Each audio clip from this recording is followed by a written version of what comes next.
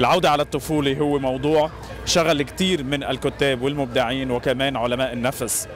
كثير أحيانا بنمشي على دروب الماضي لحتى نتذكر أنفسنا. بس بقلب هيدي الرحلة الكثير من التحديات اللي بتواجهنا التحديات النفسية والتحديات الروحانية وأيضا التحديات الجمالية.